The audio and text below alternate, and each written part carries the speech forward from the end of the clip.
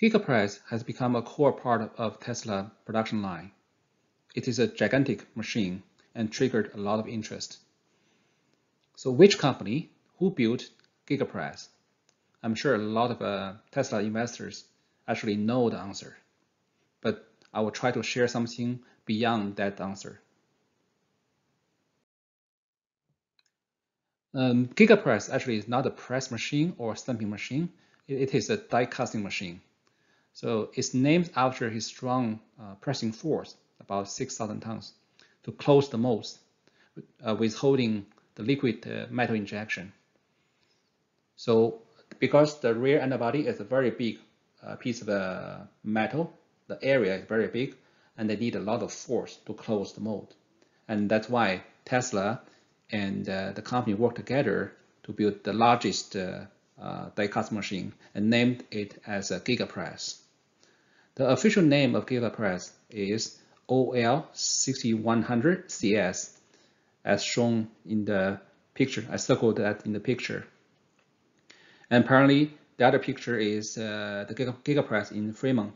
You would you can barely see the name, but actually the name is there. So uh, the source of the image is provided at the bottom. So this is a uh, the, the official name of GigaPress.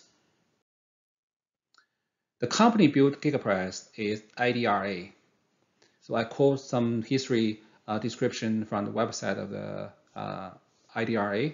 Basically, it was founded in 1946, way more than 60 years, actually 75 years, by a family of uh, Basotti in Italy.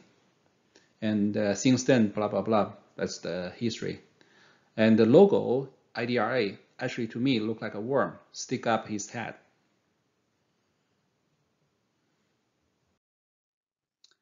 And this is where uh, IDRA located, and this is their main building uh, for the factory and probably also office as well. This is from, uh, yeah, the source of the image is provided at the bottom. I will summarize all the links referred in the presentation, put into the video description, so you can do further research if you want. And here are some highlights of IDRA.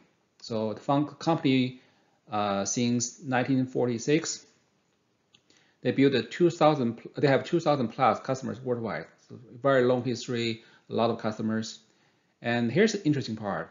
They built more than 15,000 um, machines in his 75 years history. So roughly 200 machines per year, uh, if using uh, average number. So is 96, uh, 9,200 machines still in operation. That's 60%. 60% of the machine in last, uh, say, 75 years um, still working now. And that give you give us an impression that those machines don't die easily. They have long life. Or put another way, so 200 machines per year averagely, so 9200 uh, machine, 9200 machine will be roughly 40, 46 years. So it's just uh, consider like last 40 years machine still alive. It's not accurate, but sort of good enough. And that tell us that the machine has a very long life, basically. It's good news for Tesla actually.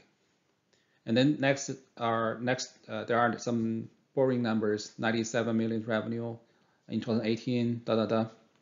And R&D expenditure in 2018 is 1 million euro, not very high, but just keep just remember this is a very traditional uh, heavy industrial manufacturer business. So generally they don't they don't need a lot of R&D work. But you know with Tesla's involved, they developed the largest uh, machine, die-casting machine, pretty, uh, you know, pretty fast pace. The last point is quite amazing. They have 180 employees in 2019. And I checked a little bit more detail. Actually, this is a high number. Back to 2010, they only have 124 employees. So they, citing their uh, description on their website, actually they said uh, less vulnerable to market uh, fluctuation. So that's a keyword. Uh, this is a traditional business, have a lot of cycles, sometimes the downturn can be really bad.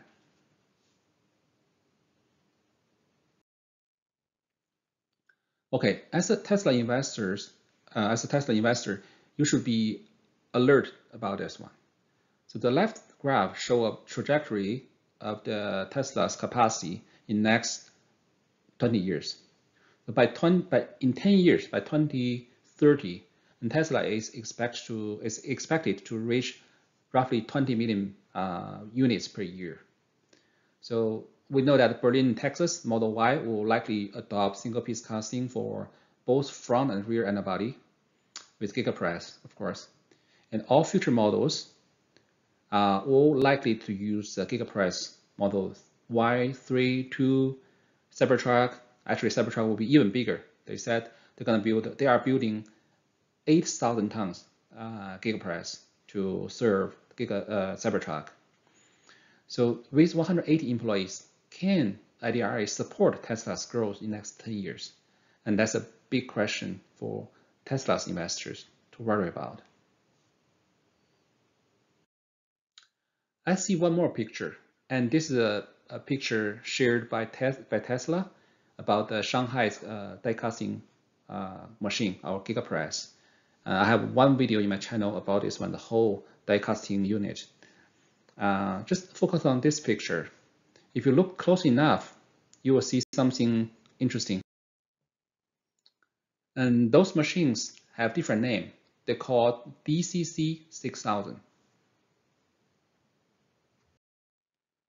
There seems another GigaPress in Tesla Shanghai, which name is uh, whose name is uh, DCC 6000 die casting machine.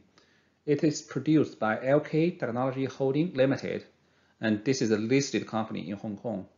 Uh, I provide the ticker here, Hong Kong uh, 0558. The name is here. And this is the machine name. Actually, machine name is called Impress Plus.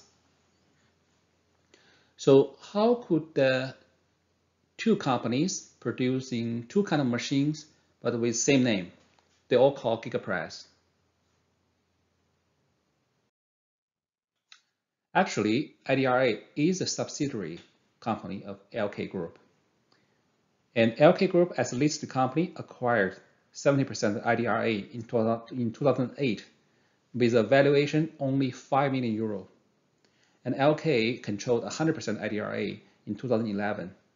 So this is a very, very typical M&A Uh, during the industry downturn, industrial uh, downturn.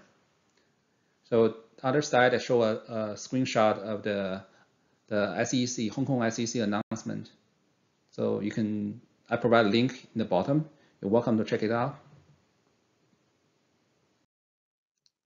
So what about LK Group?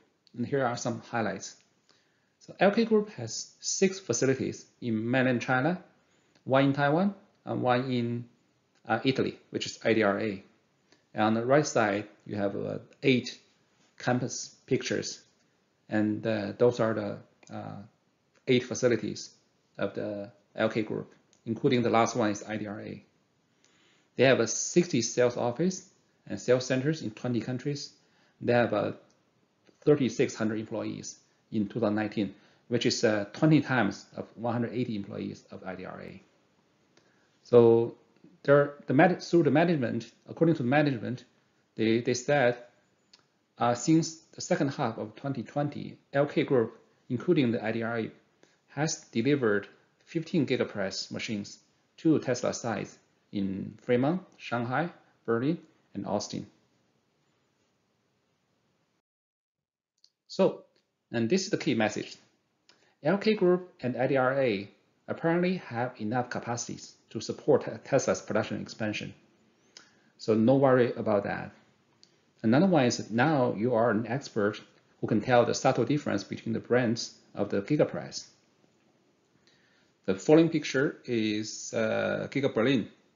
Uh, credit go to uh, Tobias uh, Lindh. The uh, link of the image is shared in the bottom. So which company produced this Giga machine, GigaPress machine? Um, make your own call. Thank you for watching and welcome to subscribe.